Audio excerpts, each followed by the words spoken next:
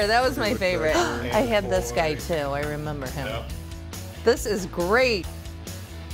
Um, so we are the only antique, vintage, retro, and contemporary toy shop all under one roof.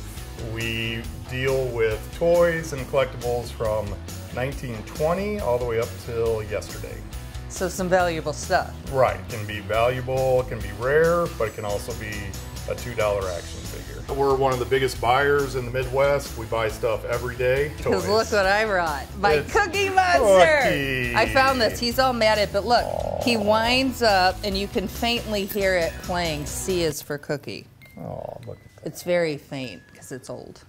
Sesame Street toys are actually a big deal. They've kind of had a resurgence now that PBS doesn't make as many of them. So this would like be something I could sell to you? That's right. Now it's dirty. So All right, Christmas obviously coming up. So like what would people come in to buy? we have like two groups. We have the collectors that want to purchase something special either for themselves or for another collector, friend in the family or something like that.